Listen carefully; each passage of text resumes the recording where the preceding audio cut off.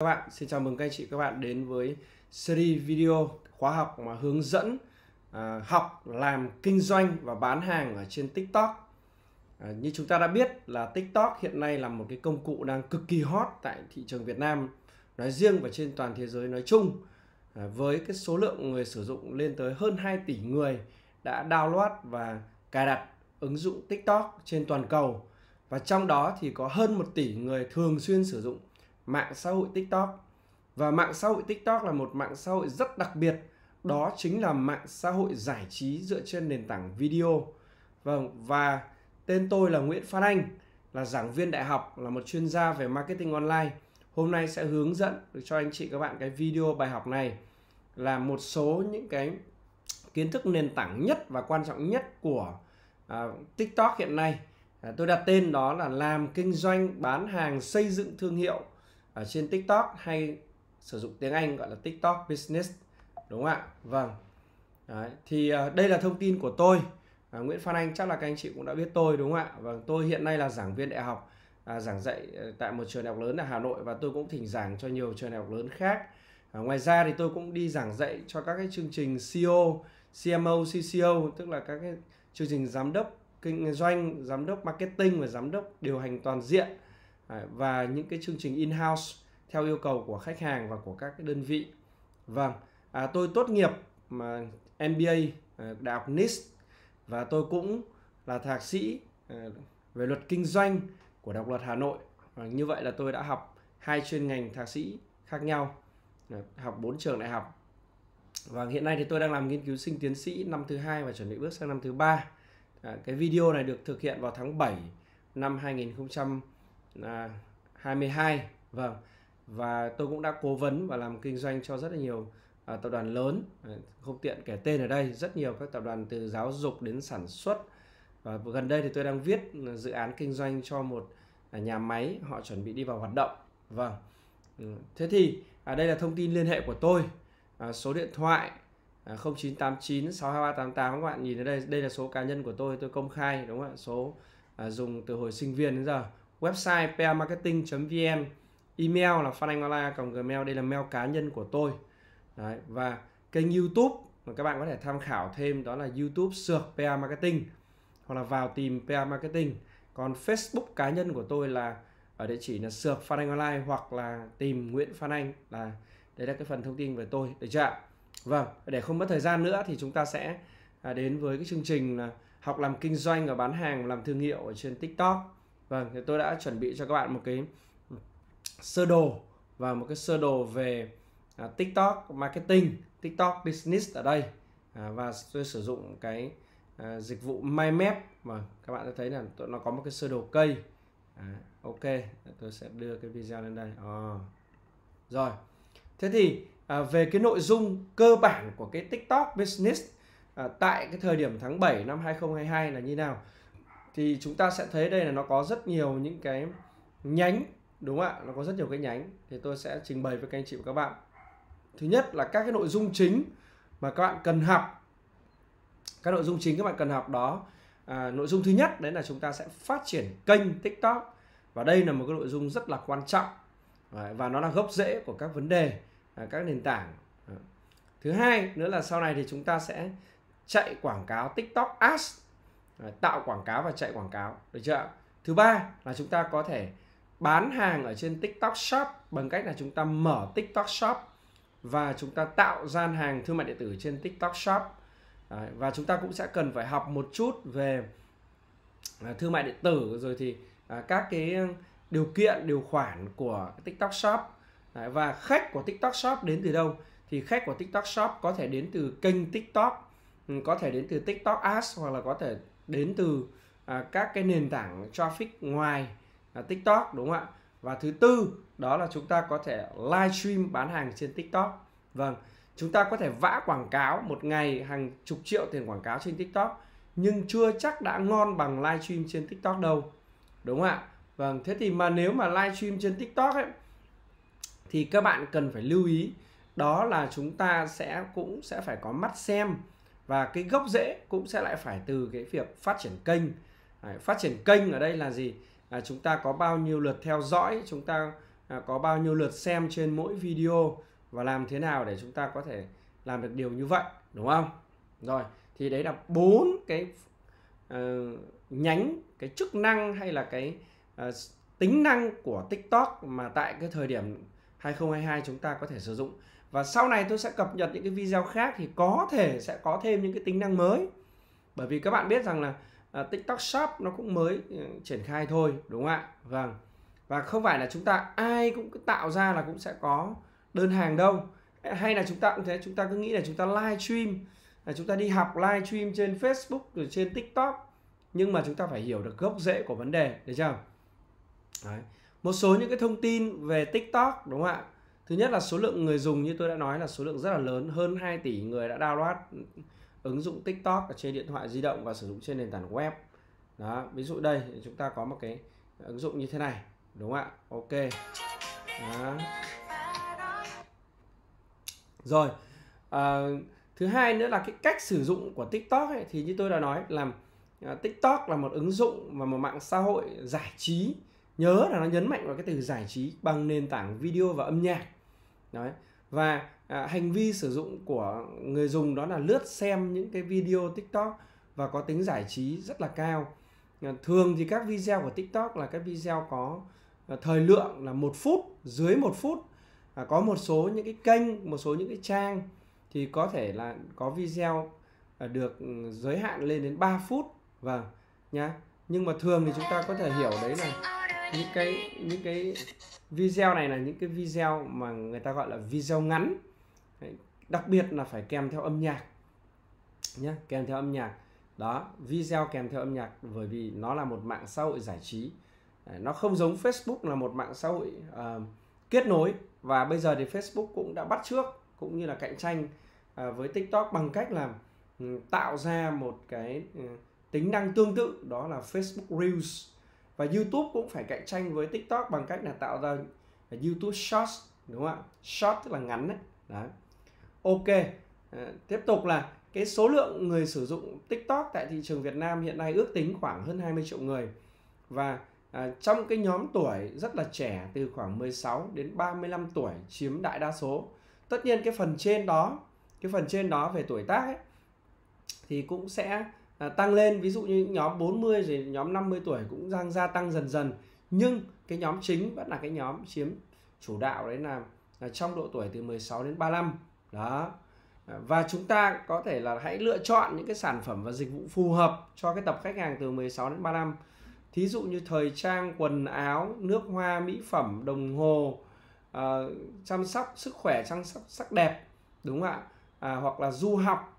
Đấy, du học hoặc là xuất khẩu lao động mà sử dụng TikTok thì vô cùng tuyệt vời.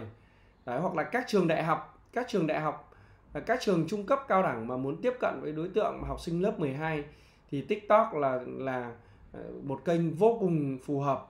Vâng. Nếu ai có những cái kinh doanh những cái sản phẩm và dịch vụ tương tự như vậy thì chúng ta phải làm ngay, đúng không ạ? Dạy tiếng Anh hay làm bất kỳ cái dịch vụ gì. Đó. Bởi vì nó là một cái video sáng tạo à, và phù hợp với giới trẻ nó có âm nhạc nó rất là vui vẻ. Đấy, người ta dành nhiều thời gian ra để xem và để lướt nó. Vâng đấy là một vài cái lời khuyên nhé đây là những lời khuyên cơ bản thôi. Còn sau này các bạn đi vào những cái khóa học chuyên sâu thì tôi sẽ ừ, phân tích kỹ cho các bạn từng cái sản phẩm từng cái dịch vụ của bạn nó phù hợp hay không và uh, nó chuyển đổi như thế nào. Thí dụ như bây giờ em đang bán cái này vậy thì em muốn phục vụ cái khách hàng trên tiktok này em làm thế nào? Em branding hay là em uh, sale hay là em livestream hay là em ask trực tiếp. Nó cũng có nhiều cách đúng không? Và cái cách mà chúng ta làm rất là hoàn hảo và theo cái tư duy của thầy Phan Anh đó chính là chúng ta phải phối kết hợp cả bốn cái kênh lại với nhau. Đấy, từ cái việc là kênh TikTok đến TikTok Shop đến livestream TikTok và đến TikTok Ads thông thường thì các bạn đi học ở rất nhiều nơi bây giờ thì à, có một số bạn cũng làm được cái kênh TikTok ừ, có lượt xem lớn một chút thì thường hay dạy các bạn cách làm kênh nhưng mà đối với tôi thì tôi không không đánh giá cái việc đó. Và tôi tập trung vào cả bốn cái hướng này và giải quyết cái vấn đề và cái bài toán của các anh chị và các bạn. À, tí nữa tôi sẽ lấy một cái ví dụ cụ thể à, của một cái bạn học viên. Bạn ấy bỏ ra rất nhiều tiền đi học nhưng không ăn thua đúng không tôi chỉ chỉ cho bạn ấy một vài chiêu là video của bạn lên rất là nhiều. À, có phần đó luôn cho các bạn. À, và à, chúng ta cần phải hiểu về cái xu hướng mua sắm giải trí. À, TikTok người ta gọi những cái người mà mà mà tham gia vào hoạt động mua sắm ở trên TikTok người ta gọi là anten entertainer tức là những người giải trí nhé và shopper cộng lại với nhau entertainer nó entertainment tức là giải trí đúng không? Và shopper tức là người à, mua sắm. Thế thì nó mix nó gộp hai từ này lại thì nó gọi là enten shopper. À, shopper tức là người mua sắm có xu hướng giải trí hay là người xem giải trí có xu hướng mua sắm. Đây là một từ ghép à, giống như từ internet ấy, inter à, sau nó ghép với từ networking thì nó tạo thành từ internet. Thì uh, tiktok là một cái mạng xã hội mà nó tạo ra một từ khóa đó chính là từ enter shopper tức là dịch ra tiếng việt là những người mua sắm giải trí hay là những người người ta giải trí khi mua sắm. Tóm lại là riêng đối với tiktok hiện nay là các bạn muốn bán được hàng thì các bạn phải có được fan có được những người người ta yêu thích kênh của mình. Bởi vì người ta thích phong cách người ta thích cái âm nhạc người ta thích cái nội dung của bạn. Người ta được giải trí người ta được vui vẻ người ta yêu thích bạn thì người ta sẽ mua hàng. Không quan trọng là hàng đấy họ mua có sử dụng hay không. Bởi vì có những người tiết lộ với tôi là em cứ xem cái kênh tiktok đó à, em thấy nó vui và sau đó em mua thậm chí em trả sử dụng đến. À, thế thì như thế là thắng rồi. À, đây gọi là xu hướng gọi là mua sắm giải trí nhá thế làm thế nào để chúng ta tạo ra được xu hướng này thì các bạn phải liên hệ với thầy Phan Anh để được tư vấn và trợ giúp tham gia các khóa học tham gia các khóa đào tạo chi tiết sâu đối với ngành nghề đối với lĩnh vực của mình nha. Rồi đấy, các cái lợi thế lớn của TikTok hiện nay là gì? Các lợi thế lớn của TikTok. À, thứ nhất là à, nó là một cái kênh rất là mới nó mới xuất hiện được khoảng 2015 đến bây giờ là mới có 7 năm thôi so với Facebook là mười mấy năm rồi. Đấy, và nó đang cực kỳ hot à, cực kỳ trending tức là rất xu hướng số lượng người dùng đang gia tăng lớn đúng không ạ? Và nó rất là sáng tạo nó rất là mới lạ nó khác biệt à, so với các cái nền tảng khác. Thí dụ như Zalo thì dùng để nhắn tin Facebook dùng để kết nối lướt lưu feed đúng không ạ? À, YouTube thì dùng để xem video ca nhạc rồi xem những cái bài giảng của thầy Phan Anh vân vân đúng không? À, rồi thì à, TikTok thì đặc biệt nó là short video và entertainment video tức là những video ngắn với mục đích giải trí nha. Rồi nó rất là thú vị nó rất là cảm xúc và cái thuật toán của tiktok ấy. Các bạn tôi sẽ trình bày với các bạn cái cái cái, cái, ừ, nội dung về thuật toán của của tiktok trong cái khóa của tôi sau. Đấy, thuật toán của nó rất là thông minh nó có thể đẩy cho mình những cái video mà mình thích mình quan tâm đến. Đó. Đấy, và ừ, hiện nay người ta đang có tích hợp à, từ cái nền tảng thương mại điện tử tiktok shop. Thì khi các bạn vào cái giao diện của tiktok shop ấy, thì các bạn sẽ thấy là nó gần giống với cái gian hàng ở trên Shopee bởi vì đó chính là một nền tảng thương mại điện tử chứ không đơn thuần là một mạng xã hội nữa đúng không ạ? Vâng. Và bán hàng rất tốt. Và học viên của tôi nói là uh, sau khi cái video của bạn ấy lên được mấy triệu view thì mỗi ngày bạn ấy nhận được từ 200 đến 300 tin nhắn. Và cứ có video lên là ừ, có có có tin nhắn mà tin nhắn thì là chuyển đổi thành khách hàng. Đấy. và có những bạn mà live stream doanh thu có thể lên tới tiền tỷ một ngày một đêm livestream. Đấy. tất nhiên là họ phải kết hợp với à, các cái bạn nổi tiếng KOL hay là KOC những người nổi tiếng ở trên nền tảng TikTok thuê những người đó thuê kênh TikTok và kết hợp với sản phẩm phù hợp kết hợp với mức giá phù hợp. Đấy, nhiều yếu tố thì mới tạo ra được cái doanh số bùng nổ lên tới cả tiền tỷ mỗi một đêm livestream. À, thì trong Facebook thì cái chuyện đấy đối với tôi không lạ thì tôi làm Facebook mười mấy năm rồi nhưng mà trong TikTok thì à, bây giờ tôi mới nhận thấy rằng là cái xu hướng này nó đang rất là lên và đang rất là mạnh mẽ và các bạn phải nhảy vào càng sớm càng tốt và càng chuyên nghiệp càng chuyên sâu càng tốt đúng không ạ? Vâng đấy thì người dùng vào đây là để mua sắm để giải trí. Ban đầu là để giải trí để chơi cho vui đấy. xem thời gian xem video à, của những người sử dụng tiktok hiện nay rất là cao đúng không ạ? Và họ vào thường xuyên liên tục đấy cũng giống như là một cái sự thói quen giống như tôi là hay vào Facebook. Đấy, tôi hay vào Zalo chứ tôi ít khi vào YouTube tôi ít khi vào Instagram. Đấy, và bây giờ thì tôi sẽ à, chơi TikTok thì tôi sẽ sử dụng và nghiên cứu TikTok rất là nhiều. À, để làm gì để mà à, giúp cho các anh chị và các bạn có cái à, lời khuyên và những cái bí mật quan trọng về mặt thuật toán đến về mặt chiến lược mặt tư duy và xu hướng để các bạn làm. Đấy có những người người ta làm thành công kênh tốt nhưng mà người ta không thể dạy được các bạn đâu. Bởi vì những cái kênh của họ có thể là những cái kênh giải trí kênh hài nhảm những cái kênh uh, câu view. Còn chúng ta là sản phẩm là để bán hàng để kinh doanh cái nhãn hàng thì cái tư duy cái cách làm nó sẽ hơi khác một chút. À, ý tôi là, à, chúng ta cần phải hiểu rõ về cái cái cái xu hướng của TikTok trong từng thời điểm. Đấy. và hiện nay thì TikTok đang hỗ trợ rất mạnh về cái tính năng TikTok Shop của sàn thương mại điện tử của TikTok. Ví dụ như là họ sẵn sàng là miễn phí ship. Nếu mà mọi người đặt hàng trên TikTok Shop họ sẽ giảm giá hoặc là họ hỗ trợ cho người mua. Điều này nó giống như Grab ngày xưa ấy. Grab ngày xưa thì à, cái người mà chạy xe thì người ta cũng thưởng tiền. Đấy, còn cái người mà đặt xe người ta cũng giảm giá. Tức là người ta hỗ trợ cả hai đầu một đầu người bán và đầu người mua. Thì TikTok hiện nay đang hỗ trợ cho người mua khá là nhiều à, trên TikTok Shop à, livestream để nó tạo thành một cái nền tảng um, vừa là thương mại điện tử vừa là giải trí. Đấy, một nền tảng mà tôi nghĩ rằng là rất là mới. Và đối với à, một nền tảng xuất phát từ Trung Quốc thì uh, chắc chắn là cái chuyện mà bán hàng là cái chuyện không thể tránh khỏi. Bởi vì Trung Quốc là cái đất đất nước quốc gia mà rất là mạnh về sản xuất có đúng không ạ? Và mọi các nền tảng đều nghĩ đến chuyện để bán hàng. Ok đấy thì đấy là các cái nội dung chính đúng không ạ? Các nội dung chính. Rồi thế đầu tiếp theo là cái ý thứ nhất là cái ý mà phát triển kênh phát triển kênh tiktok đúng không? Đây là cái nội dung mà tôi nói là gốc rễ và quan trọng. Đấy. Thế thì à, tôi sẽ hướng dẫn các bạn tạo tài khoản đấy, rồi đặt tên cho kênh như thế nào ừ, làm nhận diện thương hiệu cho kênh à, cái chữ ký của kênh hashtag của kênh à, rồi thì cái intro outro cho kênh à, cái phong cách của kênh như thế nào để nó phù hợp với à, cái lượng khách hàng. Và hãy luôn luôn nhớ hãy luôn luôn nhớ cái từ khóa quan trọng nhất của tiktok đó là entertainment and funny, giải trí vui vẻ, nhá. Nếu thiếu cái yếu tố này thì bạn rất khó để làm tiktok. Đây là bí mật đây thực sự là bí mật. Tại vì tôi đã xem rất nhiều các cái cái cái video của những cái bạn học viên gửi cho tôi nói là, thưa thầy là tại sao em làm hàng trăm video không lên được? Bởi vì tôi xem là thấy nó cái làng nhàng, nó bình bình.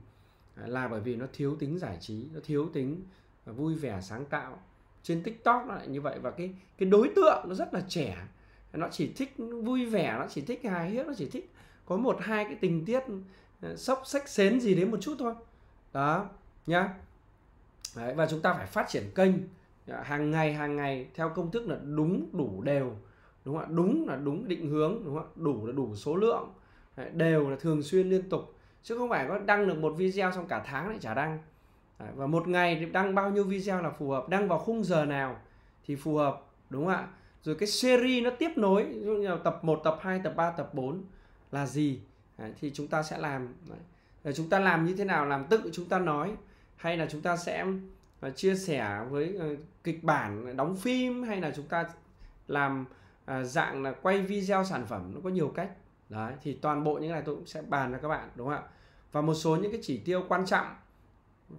Một số những cái chỉ tiêu quan trọng. Ví dụ như là lượt theo dõi kênh là như thế nào đúng không? Ví dụ như chúng ta đặt mục tiêu lên 1.000, 2.000, 5.000, 10.000, 20.000 và cứ thế tăng lên tăng lên.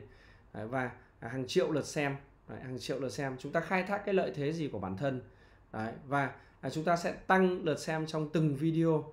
À, làm sao để video ăn đề xuất mà uh, trending ấy, đúng không ạ? Trending topic ấy, thì là để chúng ta sẽ có được hàng trăm nghìn đến hàng triệu lượt xem trong một ngày rất ngắn ngắn ngủi thôi đó và tôi đã chứng kiến một cái video của học viên của tôi à, tăng lên một triệu hai triệu lượt xem trong có một ngày thôi. Đấy, rất là tốt đúng không ạ? Tạo uy tín thương hiệu và cái ADN tức là cái chất riêng của cái kênh đó. Đó nha rồi ok. Đấy, ví dụ tôi phân tích một số kênh của học viên này. Có một số kênh rất là chăm chỉ nhưng không thể lên. Nhưng có một kênh thì như là ma làm có thể lên cả triệu view đúng không?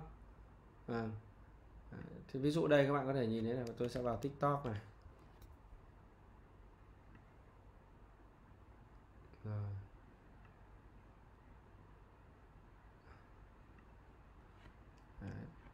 capo này đây capo zin miền Nam đây.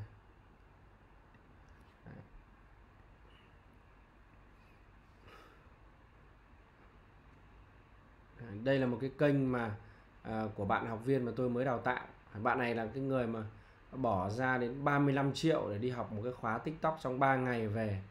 Đấy, của một cái người mà cũng ờ, có kênh tốt. Đấy, nhưng mà bạn bảo không làm được một cái gì cả. Không không không làm được cái gì làm mấy kênh đều không lên. Đó thì cũng tất nhiên là bạn ấy cũng rất là nỗ lực nhưng mà đến khi mà bạn ấy học tôi đấy, thì có một con video đây ạ. Các bạn nhìn thấy là đã lên đến 4M 4 triệu view. Và trong thời gian cũng rất là ngắn. Đấy, mới có một tuần. Đấy, các bạn để ý là mới đăng ngày 27 tháng 6 à, mà hôm nay mới là ngày mùng 8 tháng 7 và khoảng 10 ngày và được 4 triệu view 4 triệu view. À, thế bí quyết là gì? Và những cái video khác cũng bắt đầu có lượt xem nhiều hơn. À, cái video này 30.000 52.000 à, đúng không ạ? 400 ba mấy nghìn. Đấy.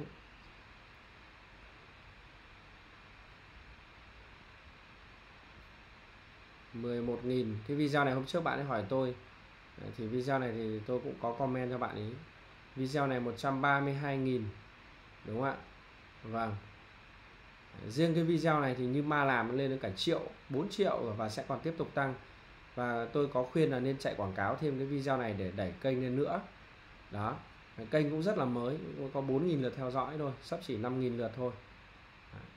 Các bạn có thể liên hệ và hỏi bạn ấy rất là chịu khó đi học và chịu khó làm thế thì ờ, nhưng mà cũng có những cái kênh ờ, có những cái kênh ở đây tôi sẽ cho xem là chẳng hạn như là kênh của một bạn học viên ờ, chưa học tôi, Vũ Thị Ngọc này.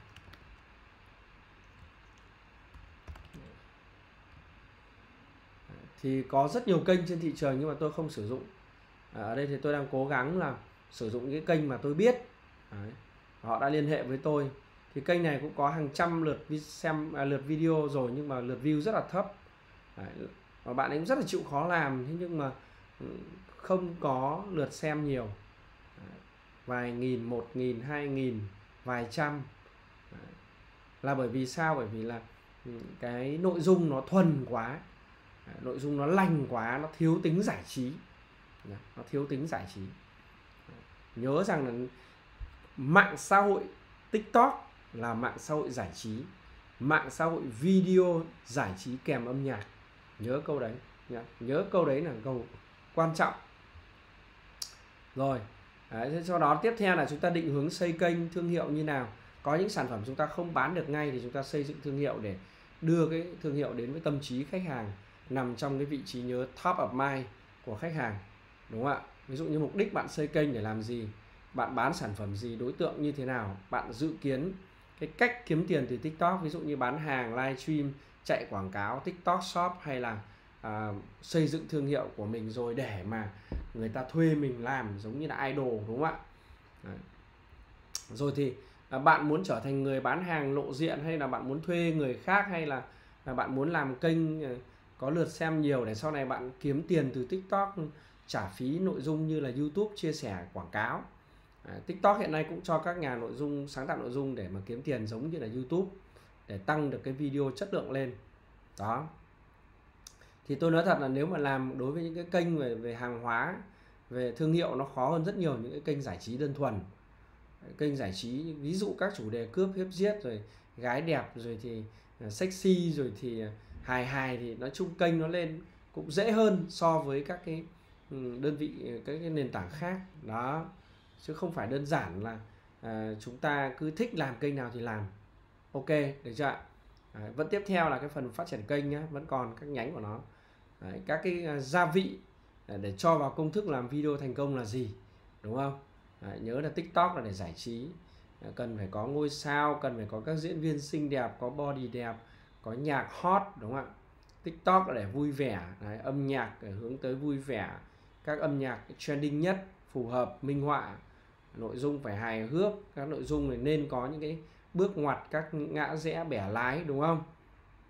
Đấy, nội dung cần phải à, tăng tương tác gây tranh cãi hoặc là vô tình hoặc là cố ý à, cho cái việc à, gây tranh cãi đấy. Có thể là nhầm lẫn hoặc là cố tình làm nhầm lẫn để nó gây ra tranh cãi thì view nó sẽ rất là cao. Đấy là cái lời khuyên. Đúng không? Tìm ra những cái điểm bất hợp lý.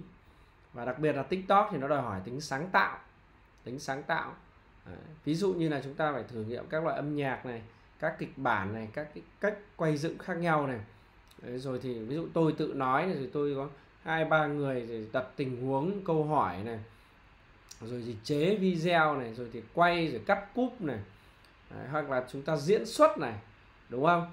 Đấy, còn như là thầy Phan Anh ngồi nói như này thì cũng có cái hay riêng nhưng mà nó cũng sẽ lại nghèo nàn một màu sử dụng nhiều các cái phần mềm chỉnh sửa hình ảnh video âm nhạc bóp hình ảnh, bóp video tạo hiệu ứng filter, vân vân. Thì cái này trong khóa học tôi dạy kỹ hơn từng từng chi tiết, từng chi tiết rất sâu. Chúng ta cũng thể học hỏi các kênh à, TikTok từ Trung Quốc hoặc là từ quốc tế à, trong cái lĩnh vực của chúng ta để chúng ta tham khảo cách làm, bắt trước cách làm, đúng không? Tiếp theo là chúng ta cũng cần phải có những cái sự mới lạ, độc đáo, thu hút được giới trẻ vì 16 đến 35 mà.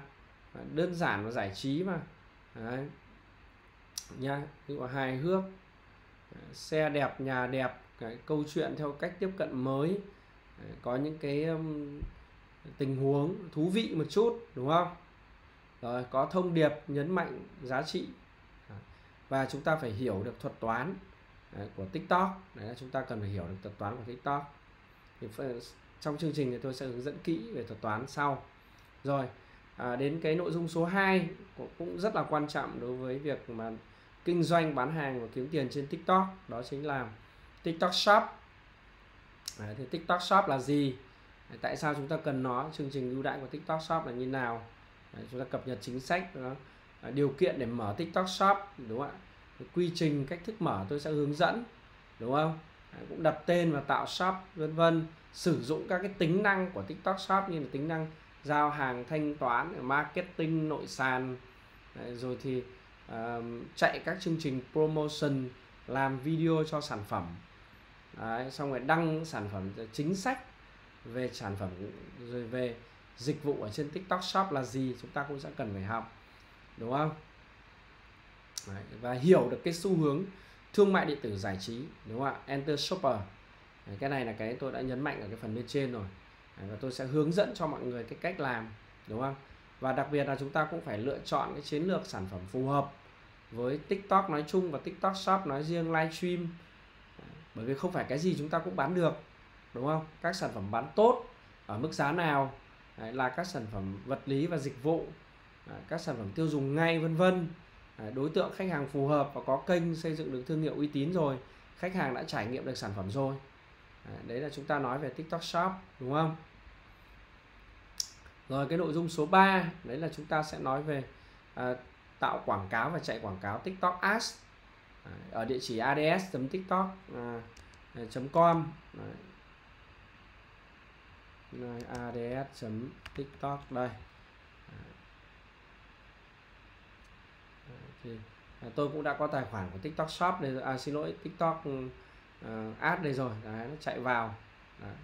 hoặc là TikTok Shop cũng như vậy đúng không ạ TikTok Shop thì ở địa chỉ là um, seller gạch ngang vn tiktok com đấy. tiktok shop đấy. đây tôi có tài khoản đây rồi đấy. tất nhiên là à, chúng ta nhìn sơ sơ thôi và chúng ta cần phải học làm rất kỹ chạy quảng cáo như nào làm video như nào đấy, rồi tối ưu như thế nào vân vân. Được chưa ạ?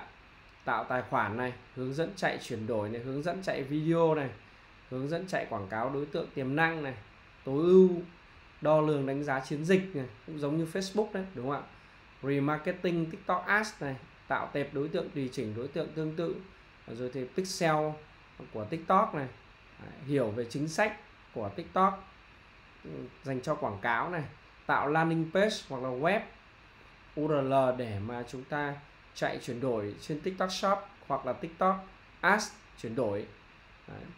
chúng ta làm video nội dung đấy làm video hay còn hoặc là hình ảnh. Cái này cái cái gọi là content ấy, mình hay gọi là content ads này. Thì trên trên tiktok thì có cho phép là chạy video hoặc là chạy hình ảnh. Thì và chúng ta nên chạy video đấy là cái nội dung số 3 của cái khóa học về uh, quảng cáo và chạy quảng cáo uh, trên tiktok ads. Rồi và cuối cùng cái thứ tư mà các bạn rất là quan tâm đấy là livestream trên tiktok. Thế thì về cơ bản thì cái livestream nó cũng sẽ đòi hỏi các kỹ năng tôi có khóa học về livestream riêng. Livestream trên facebook trên youtube trên tiktok thì uh, kỹ năng về cơ bản nó sẽ giống giống nhau. Thế nhưng mà riêng nền tảng tiktok thì nó sẽ có những cái điểm khác một chút đúng không? Đấy, ví dụ như điều kiện để livestream trên tiktok là gì? Đấy, livestream thì phải kết hợp với phát triển kênh. Đấy. và sau đó là bởi vì nó là một cái cặp rất là quan trọng đúng không ạ? Vâng. Cập nhật các cái chính sách livestream của tiktok. Cập nhật các chính sách livestream rồi. Làm thế nào để livestream hiệu quả? Ví dụ như chúng ta phải chuẩn bị phần cứng phần mềm hậu kỳ hậu trường. Chuẩn bị kịch bản lên sóng. Ờ, rồi đào tạo kỹ năng livestream cho người live ờ, cho streamer. Ờ, giống như chị Hằng, đúng không ạ? Chị live rất là hot. Tìm ý tưởng livestream chuẩn bị ngoại hình trang phục. Kỹ năng nhé, đúng không ạ? Thì ở đây là kỹ năng nói, đúng không ạ? Thu hút. Rồi đặc biệt livestream của tiktok là phải giải trí. Ví dụ như là chúng ta nhảy nhót, chúng ta hát ca múa may quay cuồng. Nó khác, nó rất là khác nó rất là thú vị. Rồi.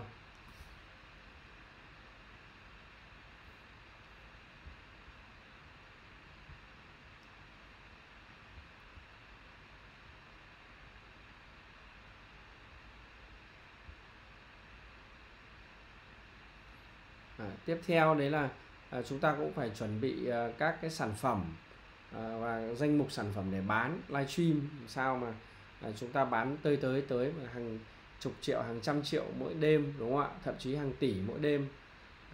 Chúng ta cũng sẽ làm sao mà để có nhiều mắt xem à, đổi mới nội dung viết kịch bản như thế nào kết hợp với các cái idol hay KOL vân vân.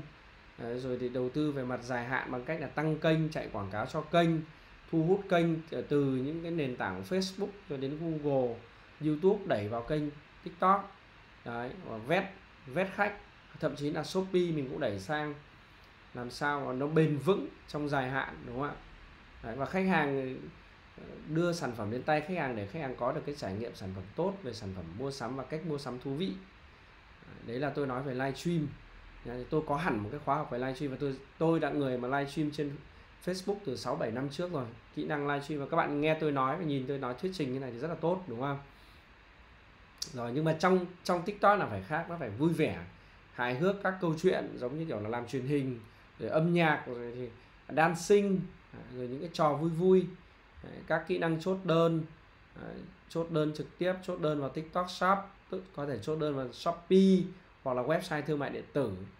Chuẩn bị hàng hóa để bán thậm chí là hàng hóa có sẵn đóng gói sẵn luôn chỉ việc chốt một cái là bắt đầu là in dán luôn in dán luôn in dán luôn.